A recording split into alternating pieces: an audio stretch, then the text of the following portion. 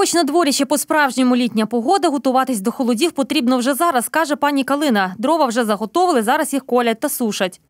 Мінімум, я на свою думку. У нас дуже багато дров йде на, нову хату, на стару хату, і ще в нас там косарай такий, така півнич. Газу в нас нема.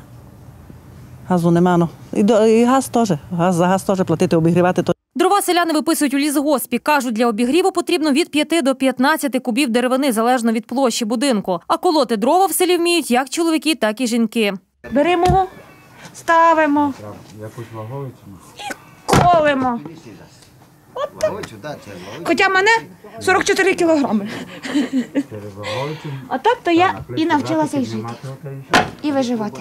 Колоти дрова краще сирими. Коли деревина висохне, вона стає міцнішою і вже не так легко піддається. Дивіться, сучків багато є. І між ними б'єте так, щоб у сучок не попадало. Якщо ще попаде, то не розколите його ніколи.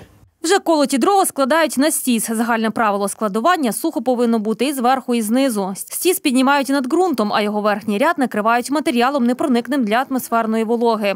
А от так на сонці, от, от. Видите, вони накриті зверху, щоб дощ їх не, не, не, не пробивав, не, а у тому вони посихають.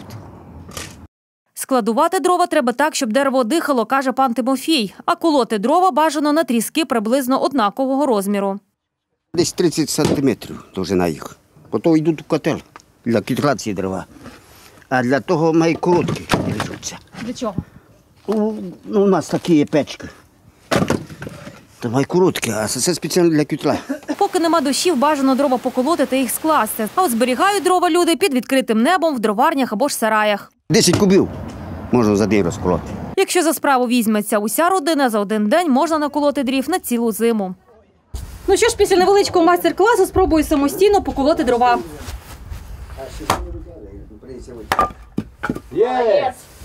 Тож, поки погода дозволяє, у селах люди без роботи не сидять, а наповно готуються зустрічати зиму.